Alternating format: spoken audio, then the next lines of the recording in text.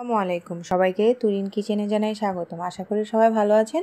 আজকে আমি আপনাদের করে দেখাতে যাচ্ছি ওয়াটারমেলন জুস সামান্য কিছু উপকরণ নিয়ে আপনারা ঘরে বসে ওয়াটারমেলন জুস করে নিতে পারেন।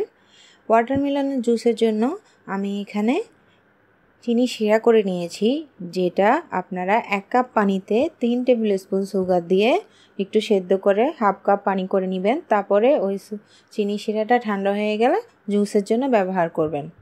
এখানে আমি নিয়ে নিয়েছি চিনির সিরা নিয়ে নিয়েছি, তরমুজ নিয়ে নিয়েছি, সুগার। এখন আমি আপনাদের একে একে সব উপকরণ দিয়ে দিচ্ছি। ওয়াটারমেলন দিয়েছি টু কাপ দিয়ে দিয়েছি চিনি শিরা এখন দিয়ে দিব চিনি। চিনিটা আপনারা আপনাদের স্বাদ মতো ব্যবহার করবেন। আমি এখানে থ্রি টেবিল স্পুন ব্যবহার করেছি। এখন সব কিছু উপাদান একসাথে প্লেন করে নিব।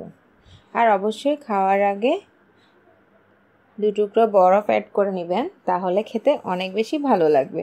আর যদি যারা খেতে চান না অনেক বেশি ঠান্ডা, তাহলে স্কিপ করতে পারেন, শুধু জুসটা একটু ফ্রিজে রেখে খেয়ে নেবেন।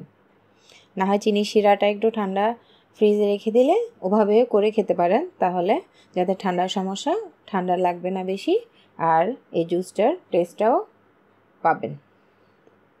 জুস আমার রেডি হয়ে গিয়েছে। এখন আমি আপনাদের দেখিয়ে দিচ্ছি। দেখুন, কত সুন্দর একটা লাল টকটকে কালার আর খেতে অসাধারণ। অবশ্যই দর্শক ট্রাই করে দেখবেন কেমন লেগেছে। এ ধরনের আরও অনেক ধরনের জুস আমার প্লেলিস্টে আছে। অবশ্যই দেখে নি, দেখে নেবেন। আর আপনারা কি ধরনের জুস আরও পেতে চান তাহলে আমাকে জানাবেন। রেসিপিটি আমি দেখিয়ে দিব আপনাদের।